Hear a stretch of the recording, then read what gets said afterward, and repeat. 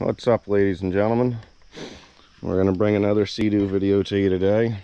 Um, I want to start off by saying this was a very weird occurrence. I've never actually experienced anything like this in any vehicle I've worked on before. Um, I'm going to give you guys some great information, but I also want to tell you this problem almost burnt my ski up.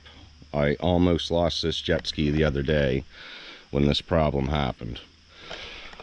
And what happened was we were on the water, everything was fine. Had almost the whole day in, five, six hours.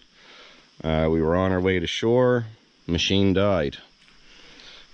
When the machine died, I assumed she had sucked something up in the intake grate, so she started up.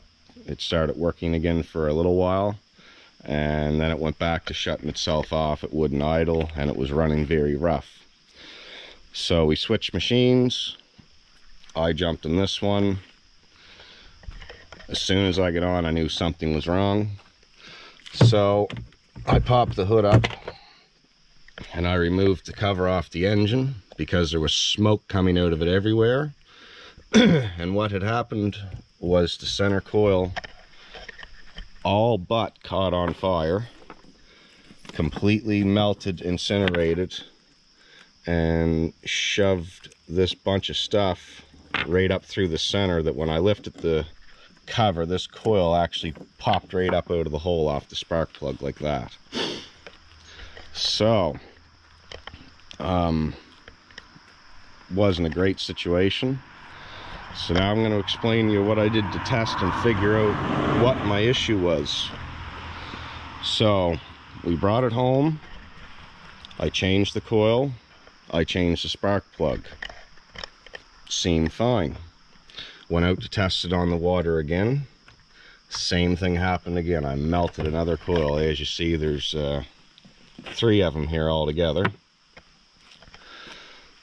So I said, clearly there's another major issue here somewhere. So I brought the machine home again. started doing some digging. Down here in the fuse box, the fuse was blown for cylinder number two. Thought, okay, quick, easy fix. We'll change the fuse, away we go. No, I changed the fuse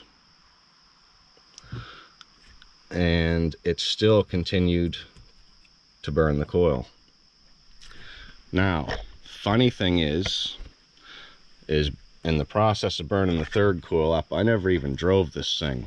All I did was have the key in the ignition with the dash on, and the smoke started rolling off this coil without the motor even running. True as I stand here and as true as I'm talking to you.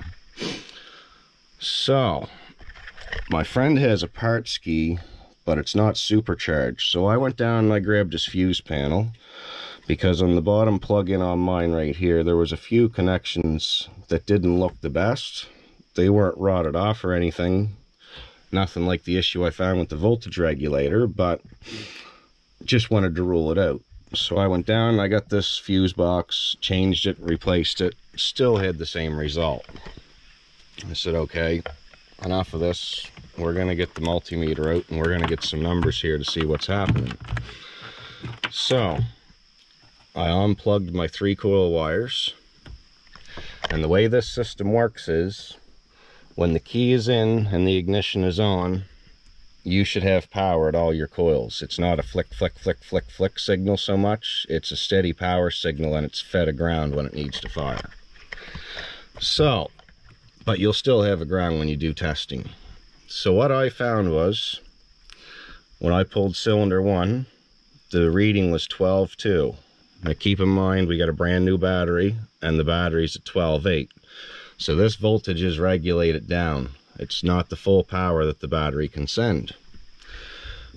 When I tested the odor coil, because I wanted a good number to go by for the ones that were working, the odor coil, cylinder 3, also read 12.2. So, and this was a voltage reading with your multimeter on DCV, you're reading voltage obviously. When I tested this center cylinder, I had almost 12.7. I was getting, I believe, 1265, not running, just sitting here with the key in the ignition. And I have the coil hooked up now, obviously, but when I had the coil unhooked doing my tests, I also had the coil out of the hole. And as soon as I plugged this coil into that wire, when that was getting 12.6, 1265, this coil would get extremely hot within seconds. Like I said, if you left the key on about 35, 40 seconds with this plugged in, it would melt this coil right here, take this, and make it look exactly like these do. So, this is a supercharged model. My friend's part ski was just a regular 4-TEC. But I said, well, either way, if I go get the computer, the ECU for the engine off of his ski, I should be able to do some wire, wire testing and get an answer here. And even though this center cylinder had 1265, it was a no fire issue. The plug is not firing. It's just simply melting the coil all to heck. So, drove out to my buddy's, grabbed the ECU out of the plain Jane non-supercharged 4-TEC, brought it home, plugged it in, hooked it up. Also, when you change the ECU from another ski, you got to make sure that they have the key for it because the key is programmed to the computer on top of the engine. It's not programmed to the fuse box, it's programmed to this. So he had the key, that was fine. I brought the key home, brought the computer home, plugged it in, and then I conducted the same wire test on the power output going to these coils not running. What I conduct it was, and this computer seems to be newer, less hours, in better shape, I have a steady 12.1 at every coil output. 12.1, 12.1, 12.1. I said, okay, well now I know that I'm getting the same power to all three. I should be safe and should be good to go. so I got my center coil and I plugged it in with the key in and I just sat here and watched to make sure it wasn't going to start smoking or do anything silly like the other computer was doing. And sure enough, it didn't. It finally it was fine. And obviously after conducting the wiring test, I knew this. So I then fired it up. This ski will fire up and run for a second off of that computer, but that's all you get because different timing wheels, whatever. You guys, if you put the wrong computer on the wrong engine, you know it's not going to work. Simple as that. Um, but what I was able to do, like I said, with this computer, it's my friend's, it's a free ski sitting in the field in his yard. Now I was able to conduct my test and confirm that the ECU is definitely the problem. And just to verify, you know, I had voltage and everything, the ski didn't run long enough to be able to give it any throttle at all. So we pulled each individual plug, pulled the coils, and did just an open fire test. And sure enough we've got fire in all three cylinders. So 100% if you've got a dead coil the fuse keeps frying in your EPM or MPEM you've got a bad computer. And if you're in a situation well you probably will be that you'll have to order a new one you got to make sure that you order the one with the right numbers and everything so if you're going to parts yards I'd recommend doing your research, which computers are compatible with your engine, so forth. But this was definitely the issue for this machine, and I'm very, very lucky that the ski didn't burn up because sitting right on top of these coil packs, you have that 4-TEC plastic engine cover. I believe it's sitting here in my building.